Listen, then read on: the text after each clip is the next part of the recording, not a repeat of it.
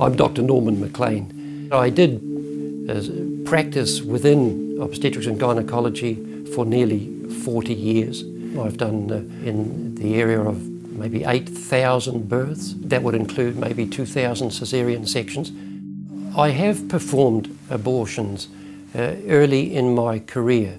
Over that time, I would have certainly done um, between one and 200 terminations of pregnancy. So I know about the technique. Today, I'm going to describe a first trimester surgical abortion, otherwise called a suction D&C dilatation and curettage. This is the most frequently performed abortion technique and is usually typically performed between 5 and 13 weeks of pregnancy. After administering anesthesia, usually a sedative, the abortionist uses a speculum like this. This speculum is placed inside the vagina and then opened using the screw on the side, allowing the abortionist to see the cervix, the entrance to the uterus. The cervix acts as a gate that stays closed for the duration of pregnancy, protecting the baby until it is ready for birth. The abortionist uses a series of metal rods called dilators, like these, which increase in thickness and diameter, and the abortionist inserts them into the cervix progressively to dilate it, gaining access to the inside of the uterus where the baby resides. At this stage of pregnancy, the baby has a heartbeat, fingers, arms, and legs, but its bones are still weak and fragile. After the cervix is dilated, the abortionist will insert a suction catheter similar to this.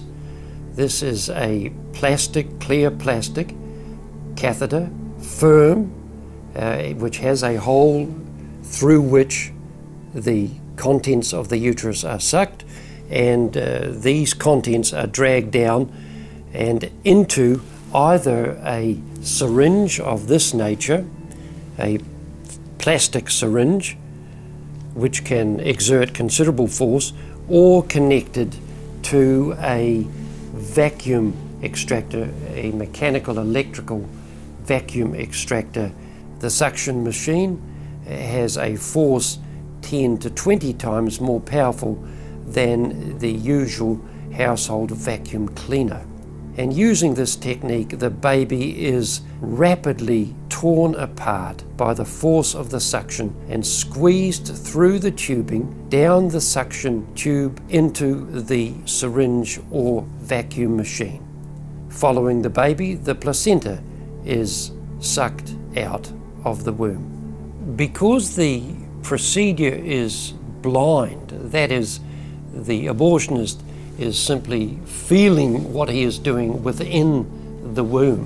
One of the common problems is getting everything out so that it's not unusual for parts of the baby to remain within the womb and parts of the placenta, uh, which feed the baby, remain within the womb.